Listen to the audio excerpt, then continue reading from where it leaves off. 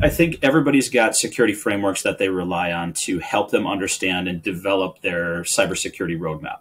If you look at all of the major cybersecurity frameworks, whether it's NIST, CIS, uh, pick your your regional, uh, you know, the Cyber Essentials, uh, you know, the ASD um, uh, top twenty.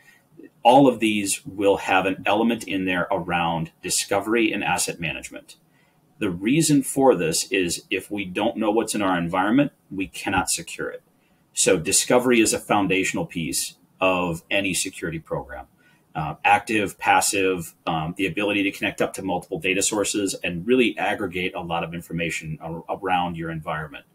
Uh, Ivanti has a, a, a, lot of capabilities around discovery, and what we have found through engagement with customers and uh, some security uh, surveys that we've done is most organizations have between a 20 to 30% gap in their understanding of all devices that are actually being managed in their environment.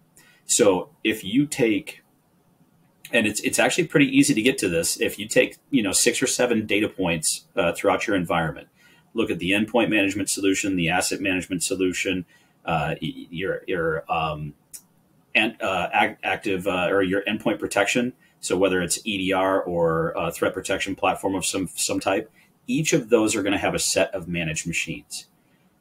Match that up with your procurement team, and uh, I guarantee you, between those different data sources, you're going to start to see double digit percentages of machines that are managed in one, not in another. Uh, so that you know, upwards of thirty percent of my environment is blind to me from any one data source.